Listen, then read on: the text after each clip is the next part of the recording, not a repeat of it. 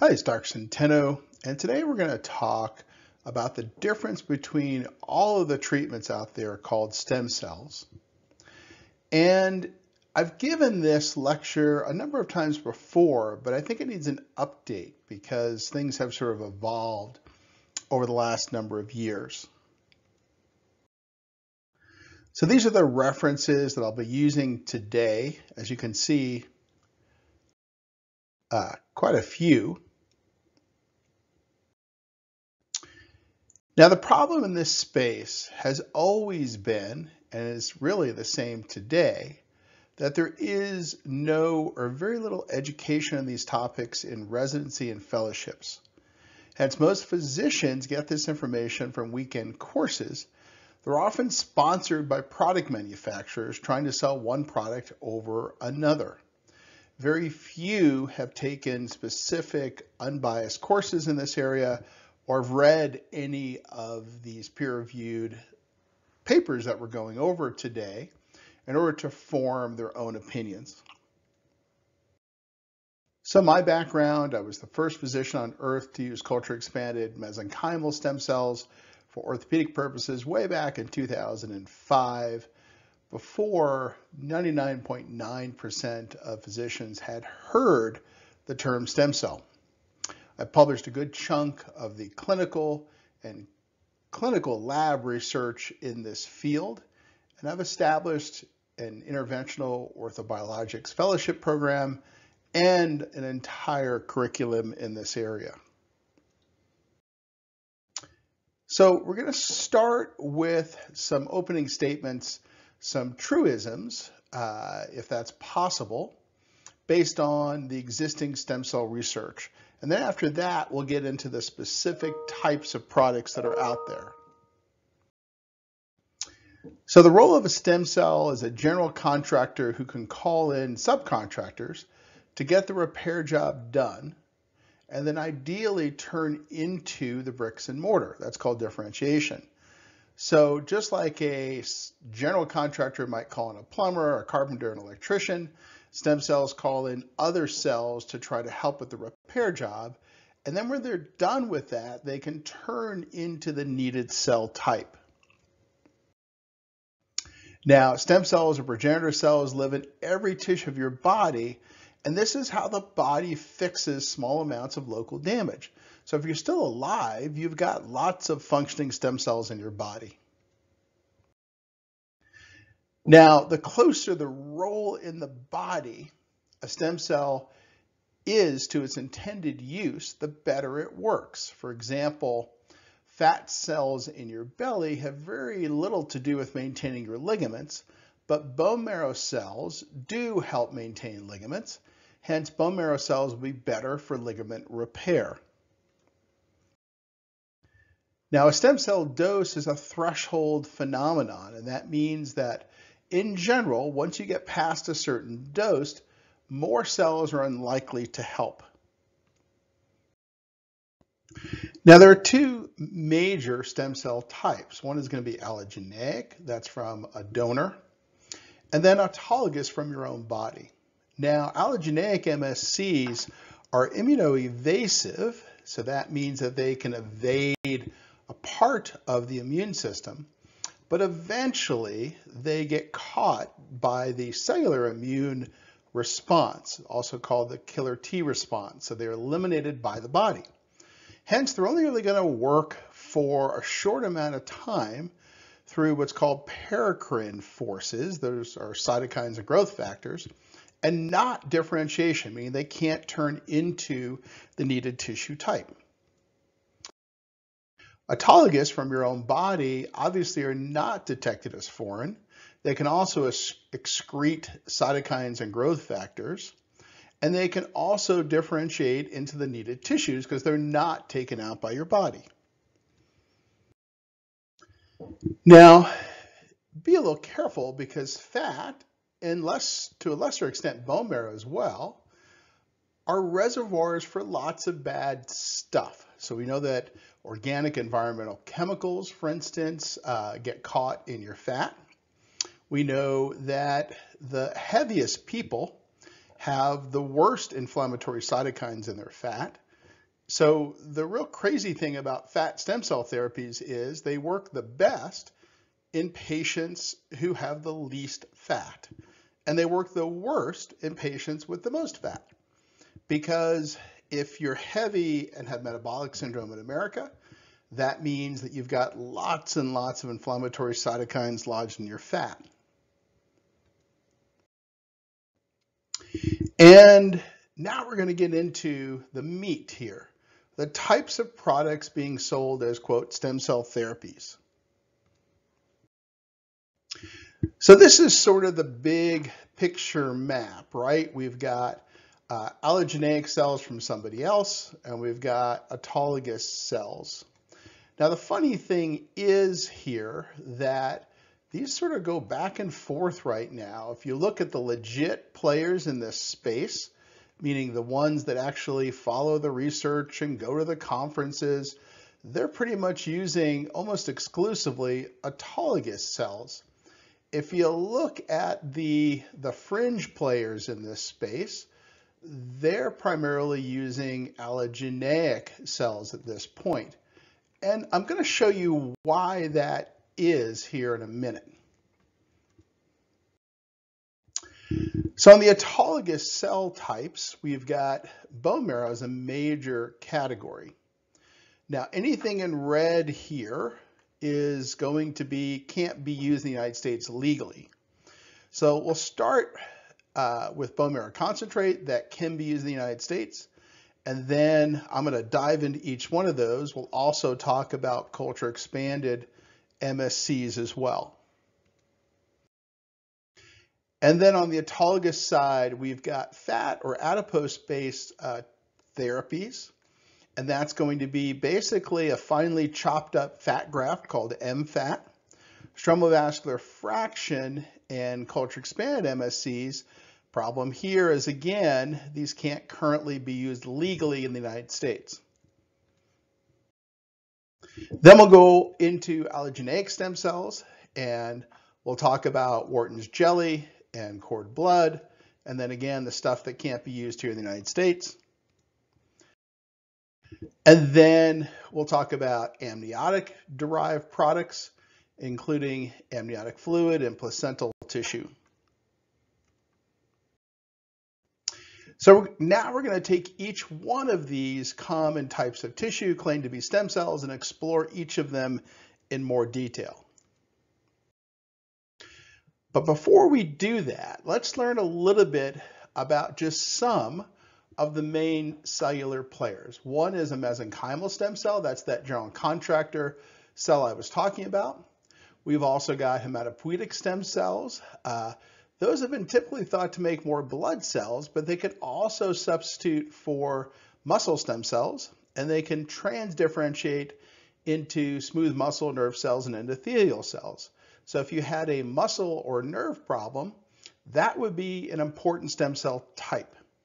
Then we've got macrophages. These used to be thought of as cellular garbage men, but really they're critical in turning around acute inflammation and starting that repair response, almost like a mini mesenchymal stem cell.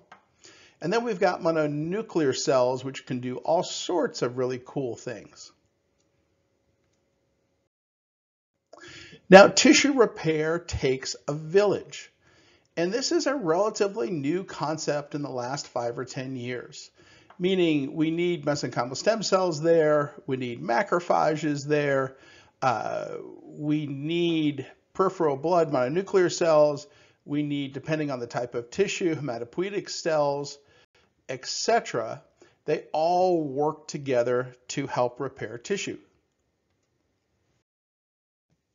So we'll start with bone marrow concentrate. What is it? Well, it's the stem cell containing fraction isolated from bone marrow using specialized centrifugation. So one of those bedside centrifuges. Now it contains all the cell types we're talking about, and it has a lot of research going back to the early 1990s. It can cover all the orthopedic tissues, and it's got some really cool stuff in it called A2M, which is a anti-inflammatory molecule, and then exosomes and growth factors, And it's by far in this area I got the most research on safety published to date. Culture expanded bone marrow mesenchymal stem cells. Now we're taking that bone marrow concentrate and we're culture expanding it so that we get more and greater numbers of mesenchymal stem cells. Now this is pretty much uh, only a stem cell containing treatment and it's got a lot more stem cells in it than bone marrow concentrate because those cells are grown in culture. Now what it doesn't have is some of those other cells we were talking about. So it would have to rely on the body's other cells, if you will. And it's got some good research behind it, treats all the orthopedic tissues, it's got exosomes and growth factors, solid research on safety profile, which we've published the most on, and it's currently illegal to use in the United States. Microfragmented fat. Now this is a finely chopped up fat graft so that you get microscopic pieces. This goes by the name lipogems here in the United States, although there's several companies that have jumped into this with different kits. Now the biggest thing to know here is there are very few free mesenchymal stem cells. That's why you see only a half of a mesenchymal stem cell icon here. And that's because those cells are locked in their collagen prisons and they can't get out unless they're digested out. So as our research has shown, there's very few free mesenchymal stem cells here. Now there are lots of exosomes and growth factors, which is probably how this works. And we're seeing some mounting uh, research. Joint arthritis and tendons seem to be the current focus of the research, and we're seeing expanding safety profile. Now you can take that same fat and you can digest away those collagen prisons for the mesenchymal stem cells. And that's called stromal vascular fraction when you do that. Now, uh, it does have more mesenchymal stem cells than bone marrow concentrate. The downside is it has fewer other cells than bone marrow concentrate. And there's some recent clinical research over the last 10 years. Again, focus of that research has been on joint arthritis and tendons. It's got exosomes and growth factors and expanding research on its safety profile. But it's also illegal to use in the United States. Then we've got culture expanded out adipose mesenchymal stem cells. You can culture those just like you can the bone marrow cells, and you can grow many more of them. Again, you're talking about mostly mesenchymal stem cells here, so it doesn't have the other cells, but it's got a lot more mesenchymal stem cells, just like cultured bone marrow. And it's got some pretty good research that's been published, again, focused in joint arthritis and tendons. It's got exosomes, growth factors, and expanding research on safety. And again, it's currently illegal to use in the United States. Now we're going to go into the birth tissues and we'll start with Wharton's jelly. This is the structural jelly from an umbilical cord. Now despite the, the crazy claims out there, the research that's been done has shown that all of the cells that are in these vials of Wharton's jelly that people are buying that they claim have millions of live and active and young stem cells are in fact dead or dying on the thaw. Uh, and even worse, there's limited recent clinical trials on the use of this stuff. We really don't know what it's good for. We do know it has exosome and growth factors, and we just don't have a lot of research on its safety or efficacy yet in orthopedic problems. Cord blood. Now we're talking about the blood from an umbilical cord. Again, same issue, dead and dying MSCs and other cells. So the, the mesenchymal stem cells in here are not surviving past the thaw. Again, limited research of using off-the-shelf US sold cord blood for any orthopedic problems. We know it's got some growth factors and there's limited research on its safety when used that way. Now, culture expanded umbilical cord mesenchymal stem cells. Now we're moving into a living cell therapy, right? This is only available outside the United States because it's currently illegal within the US. It does contain lots of stem cells. There's been some pretty reasonable research. Uh, we're not 100% sure what it's good for based on the research, but probably uh, works for orthopedic tissues. It's got some growth factors and some research on its safety profile. So this is certainly an interesting field, but again, realize that these cells will be taken out by your body.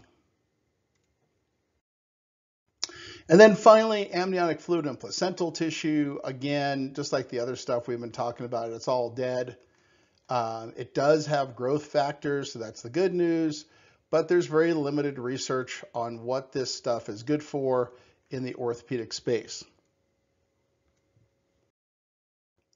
So the big picture here, as you saw, you know, the umbilical cord, Wharton's jelly, cord blood, amniotic fluid, placental tissue, those are all dead and dying cells. So at the end of the day, there's no living and functional stem cells in there. So if you want living cells, the only place you can get that from legally here in the United States would be the use of your bone marrow or adipose tissue. And this is the cellular comparison of all the different things we talked about. So mesenchymal stem cells, hematopoietic stem cells, M2 macrophages, mononuclear cells. Bone marrow concentrate uh, has mesenchymal stem cells, it's got hematopoietic stem cells, it's got lots of macrophages, it's got lots of mononuclear cells. MFAT, as we talked about, regrettably doesn't have many free stem cells. SVF, which is not legal in the United States yet, does have more mesenchymal stem cells than bone marrow, but bone marrow has more hematopoietic stem cells and more M2 macrophages and more mononuclear cells. And then, as we know, Wharton's jelly, amniotic tissue, these are all dead and dying cells, so they're not live cell products and certainly not live stem cell products. So in summary, number one, it takes a village of cells to repair tissue. Number two, those cells need to be close to the type of tissue you want repaired. Number three, bone marrow and adipose cell therapies are the most used here in the United States, at least by legit providers. And now you have seen why legit providers have gravitated towards those. And each has its own benefits. And the reason why fringe providers are focused on more birth tissue derived cells is because they're not living, and the legit providers know that. So thanks so much for watching. I hope you learned something and, and have a great day.